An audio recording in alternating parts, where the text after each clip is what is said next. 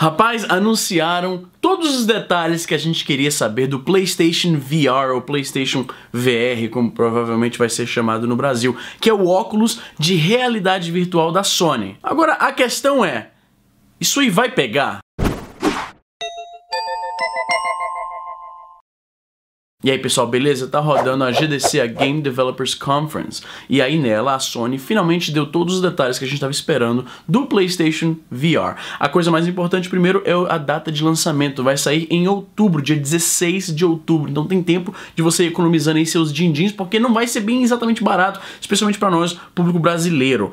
O PlayStation VR vai custar 400 dólares americanos, que na conversão do real no momento, aí com o Lula escapando da prisão e tudo mais, deve dar mais ou menos uns 87 mil reais. Não apenas isso, mas você vai precisar também comprar a câmera do PlayStation. Como eu faço streams na, no Twitch e tal, eu já tenho, mas para a maioria das pessoas isso é um acessório quase que inútil. Então você vai ter que comprar também a câmera do PlayStation, que no momento está mais ou menos na faixa de 50 dólares. E você também vai precisar comprar aqueles controles, aqueles Wiimotes da Sony. Você manja os os moves. Acho que é isso que é o nome, PlayStation Move. Move era a plataforma inteira, o controle era o controle do PlayStation Move, enfim, você entendeu. E cada um desses custa 50, entre 50 e 60 dólares mais ou menos. Aí você joga também o custo do, do videogame, né? Então, videogame, a câmera, o próprio PlayStation VR, os controles do Move, né? Os emotes lá do. Não vai ser exatamente uma parada barata. E ainda assim vai ser mais barato do que as alternativas, porque no caso do Oculus Rift, né? Você precisa de um computador de 5 mil reais para rodar o negócio. E o próprio Oculus Rift, se não me falha a memória, custa na faixa de 500 dólares. Então, Apesar dos pesares, o PlayStation VR se posicionou como a opção mais em conta. Assim, se você já tem um PS4, você já está apto para poder rodar o PlayStation VR nativamente na, na, na, velocidade máxima que a parada funciona. Você, obviamente, tem um computador, mas muito provavelmente o seu computador não está apto para rodar os jogos do Oculus Rift, por exemplo. Aí tu vai ter que investir numa placa de vídeo aí, digamos, dois mil reais, que é basicamente o preço do PS4 já. Tem também a vantagem vantagem de que o PS4 não a, a performance de um console ela não vai se degradando com o tempo, como é o caso de um computador. Eu particularmente, atualmente, eu sou muito mais console gamer do que PC gamer. É curioso porque eu cresci como PC gamer a vida inteira. Mas enfim, eu acredito na premissa da realidade virtual. Eu acho que eu já comentei isso aqui algumas vezes e sempre tem alguém que, que contradiz, que contraria, que, que fala não, mais easy. Mas olha só, em, em questão de, de imersão, a coisa principal que te ajuda nisso é, obviamente, uma, uma, boa história, que você se sinta parte dela, mas os gráficos também. Aquilo, é, o gráfico é o, é o fino tecido que divide a nossa realidade da realidade do jogo. E no que diz respeito a gráfico, a intensidade gráfica, a gente está chegando bem perto do teto, do, que, do máximo que é possível. E sempre que eu falo isso, o pessoal fala, ah, Easy, mas falaram isso na época do Super Nintendo, do Playstation, do Nintendo 64, do Playstation 2. Eu sei que sempre se falou isso, mas você tem que entender o conceito de diminishing return Returns, que eu já falei aqui uma vez. A mudança de um Atari pro Master System foi bem grande. Do Master System pro Mega Drive também foi bem grande. Do Mega Drive, sei lá, pro, pro, pro Sega Saturno, do Sega pro do Sega Saturno pro, pro Dreamcast, do, do PS2 pro PS3 já não foi tão grande assim. Do PS3 pro PS4 já começou a diminuir também. Então, quanto mais avançado o console é, o próximo, você tem muito pouco espaço para avançar mais do que aquilo. E as melhorias são sempre aquela coisa bem incremental. Você vê um jogo de, de Nintendinho e um de Super Nintendo, você identifica imediatamente, não importa o tamanho do screenshot, você identifica imediatamente de que geração aquele jogo pertence. Você vê um, um, jogo de Atari e um jogo de Master System, imediatamente o, o, o screenshot pode ser do tamanho de um selo, mas está muito clara a, a, a, evolução gráfica de um para o outro. Você vê um screenshot de PS4 e de PS3, não é imediatamente visível o que, que mudou ali. Né? O anti-aliasing está um pouquinho melhor, as texturas estão um pouco mais nítidas, mas a diferença é pequenininha. O VR, né, a, a realidade virtual, dá um boost muito maior nisso, porque agora o gráfico está ao seu redor. Você olha para cá e tem o, o mundo do jogo está aqui. Você olha para o lado de cá, o mundo do jogo também está aqui. Ocorre um ruído e você ouve de onde ele tá vindo, você olha para lá e tal, com o, a, os, os, periféricos que vão vir, você vai levantar a arma mesmo e mirar de fato,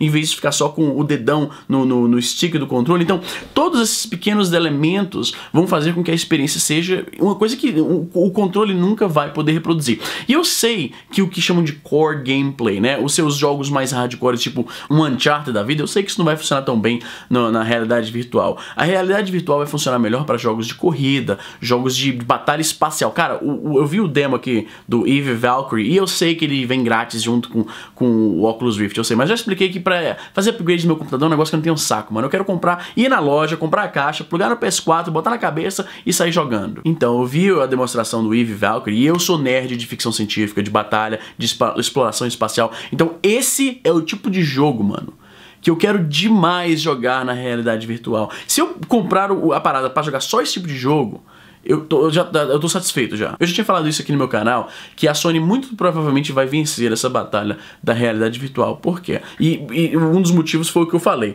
A Sony tem uma, uma cadeia de distribuição, de produção, supply chain, já muito robusto. Então eles podem lançar a parada com um preço mais baixo do que a competição. Né? Eles têm um know-how de fazer games, quando uh, o Facebook, que é o dono da Oculus Rift, e a HTC, que faz o Vive, não tem. Então essas, eles já têm aquela colaboração com com as marcas, com, as, com as, as, desenvolvedoras, eles já têm uma base instalada muito maior. Eu diria que o número de pessoas que têm PS4 é maior do que o número de pessoas que têm computadores possantes o bastante para rodar a, a, realidade virtual bem, porque tem a diferença. A otimização faz uma diferença grande. Uma coisa é o seu computador rodar a, a realidade virtual de qualquer forma, com gráficos um pouco reduzidos. E eu acho que isso vai contra a premissa de você se sentir completamente dentro do mundo do jogo. Se você tiver que fazer altos macetes lá na na, configuração gráfica do jogo para reduzir bastante, para que rode mal e mal, eu acho que perde um pouco o propósito. Eu tô animadíssimo para a realidade virtual, por mais que nem todo tipo de jogo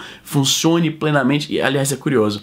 Eles um dos jogos que vão sair no lançamento é o Battlefront, Star Wars Battlefront, né? E é curioso porque se você tivesse me falado isso antes de Battlefront sair e antes de eu ter comprado aquela merda, eu tava alucinado aqui. Só que Battlefront acabou sendo a maior decepção gamer que eu tive na minha vida, brother.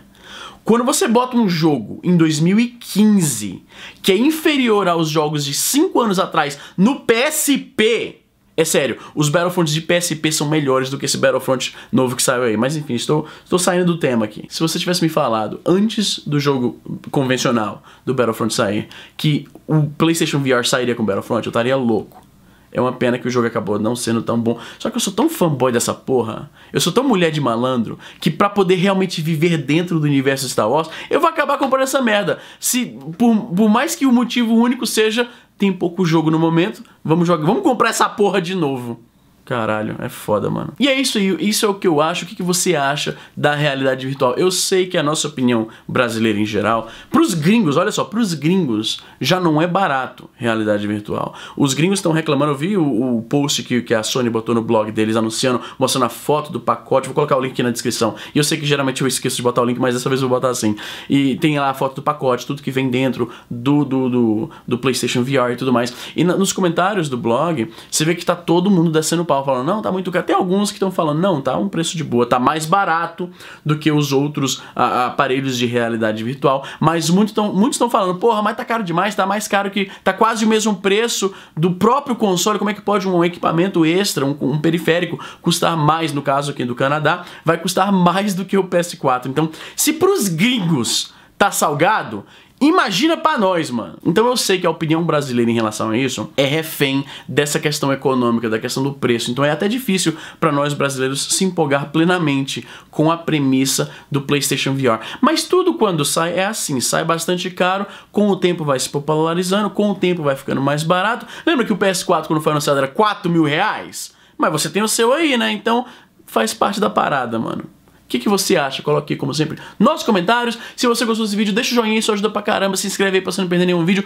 Tem vídeo aqui quase todo dia, quase todo dia. Falando nisso, o pessoal do Jovem Nerd me zoou hoje no Nerd Office sobre youtubers. E aí eles zoaram porque o meu, esse, esse programa que eu faço aqui se chama Daily Vlog, mas ele não é literalmente diariamente. Então eu fiquei com vontade de a partir de agora fazer vídeo diário só passar, só para esse vídeo deles parar de fazer sentido. Hum. E é isso aí, até a próxima, gente.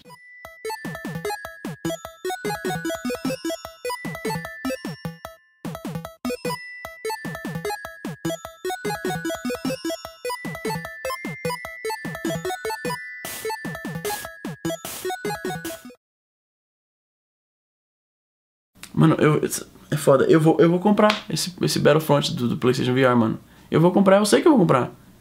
Isso que é a merda. Eu fiquei com muita raiva. Cara, eu joguei esse jogo acho que cinco vezes. Fiquei revoltadíssimo. Com, cara, como, é, como eu falei, um jogo do PlayStation 4 de 2015 tem menos features. Tem menos mapas, menos veículos, menos modelos de personagem, menos modos de jogo. Tem menos tudo do que um jogo do PSP, mano. Do PSP. É difícil de justificar isso. E eu paguei 70 pau nessa porra. Só que a promessa de jogar realmente imerso no mundo do Star Wars eu acho que vai ser forte demais para eu conseguir resistir. Mas que merda. Eu sou parte do problema.